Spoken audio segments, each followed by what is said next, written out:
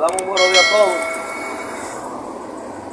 Recordándoles que nosotros no hemos convocado a esta actividad como una actividad de masa, sino como una actividad de invitados, una actividad de invitados. Entonces, en esa actividad, nosotros lo que pretendemos es hacernos sentir como asociación o como asociaciones. Eso es lo que pretendemos. Se sepa que desde este local opera la Unión Nacional de Maestros Constructores, UNAMACOM. Nosotros somos una entidad también que estamos afiliados al Consejo Aglutinador de Organizaciones Dominicanas. También nosotros somos la Unión Nacional de Maestros De detectives de privados. Detectives Privados. Somos también la Asociación Nacional de Detectives Privados. Estas tres asociaciones que nosotros representamos, hoy estamos aquí.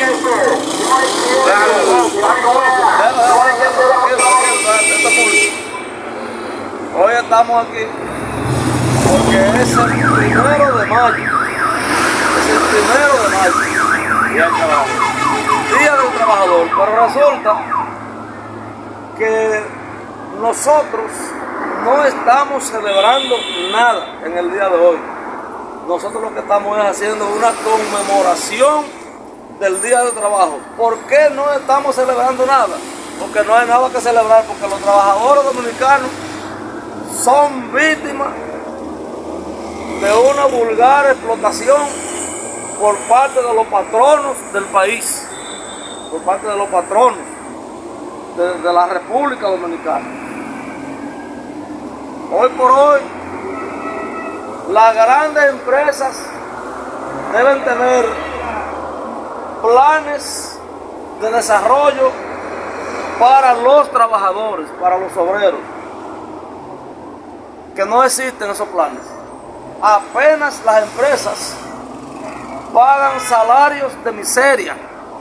Apenas pagan salarios de miseria.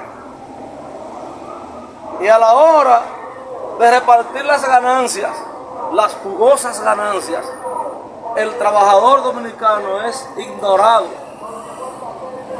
Y el modelo de empresa que necesita la República Dominicana es el modelo de empresa como por ejemplo la Central Romana, que cuando termina zafra reparte un porcentaje de su ganancia entre el universo de sus trabajadores, Como debe de ser.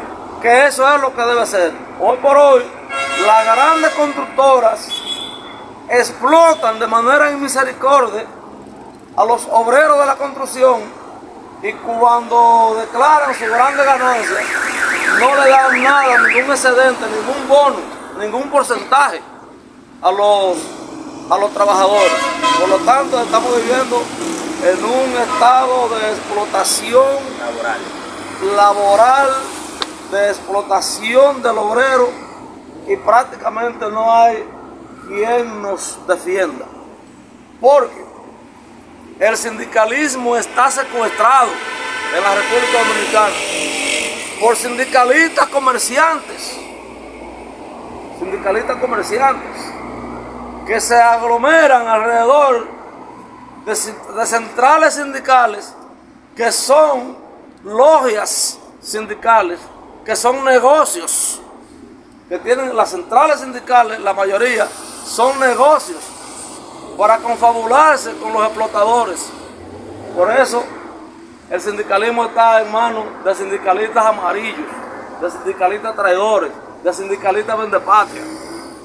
Y por eso nosotros hoy hemos hecho esta actividad de manera independiente, una actividad de manera independiente, para que se oiga nuestra voz. Lo que queremos es que en República Dominicana los obreros trabajen menos horas. Que en República Dominicana el horario de trabajo sea no más de 7 horas de trabajo diario. Pero que además que en República Dominicana se pague un mínimo de 50 mil pesos mensual a un obrero. Que si usted lo calcula, 50 mil pesos mensuales alcanzan para un- un- una casa de 15 a 20 mil pesos, quedan 30 mil pesos que son para la alimentación de los hogares. No se puede vivir con 15 mil pesos, ni con 10 mil, ni con 8 mil, ni con 20 mil.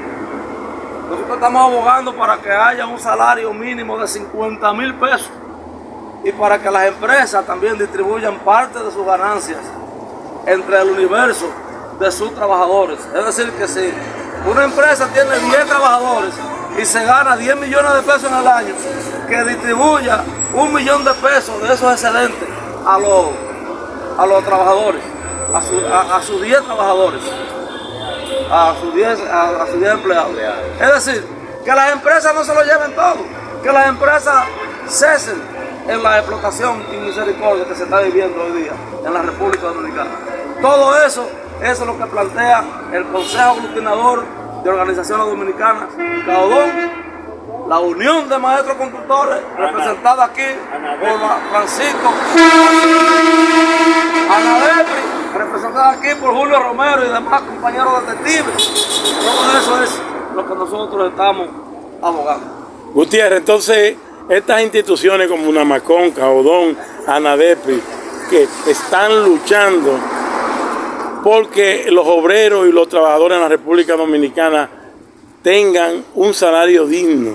Hay una pregunta especial, porque los diputados y congresistas y senadores son los que hacen legislación a favor de los obreros en la República Dominicana. La pregunta es la siguiente, ¿estaría de acuerdo usted en este momento que quiere el Consejo Industrial de la República Dominicana y los grandes comerciantes de subir, subir las horas de pensiones en la República Dominicana? Es decir, de 62 años la quieren llevar a 65 años. ¿Está de acuerdo usted, Eso- Gutiérrez? Eso, eso, eso es una coartada.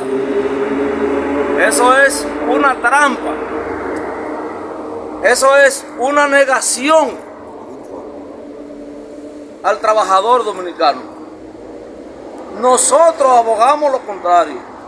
En lugar de aumentar la, la edad para las pensiones, se debiera reducir, porque la República Dominicana, el promedio de vida es de 70 años. Y si a ti entonces te exigen eh, los 70 años o los 68 para una pensión, te están permitiendo vivir un mínimo de dos años con la, la pírrica pensión que se te va a dar. Que por cierto son pírricas las pensiones en República Dominicana. Pírricas y negativas también, y negativas. Las pensiones, especialmente de los trabajadores de la construcción, están en manos espurias, en manos oscuras. Están las pensiones, especialmente de los trabajadores de la construcción. En manos oscuras están esas pensiones. Entonces, las AFP que están abogando para el aumento de edad para las pensiones, lo que están es tendiendo una trampa. Lo que están es escudándose. Porque e- esas AFP lo que quieren es seguir robándole el dinero a los trabajadores dominicanos. Lo que quieren es seguir maltratando a los trabajadores dominicanos, confundiéndolos. Todo eso es lo que trae es confusión. Se debiera hablar de bajar la edad para fines de pensiones. Manuel, eh, Radio Popular, ¿qué plan tienen ustedes en este año y el próximo año para ustedes seguir luchando para que se les mejore el salario a los obreros? Bueno, el plan de nosotros es, a partir de, de hoy, día primero del trabajo, tratar de convertirnos en una entidad representativa, verdaderamente representativa, de los trabajadores dominicanos. Y por lo tanto, nuestros planes consistirán en ser una, una entidad combativa, una entidad revolucionaria, una entidad resuelta en defensa de los trabajadores dominicanos. La consigna de ustedes de una macón, Caedón, ¿cuál es?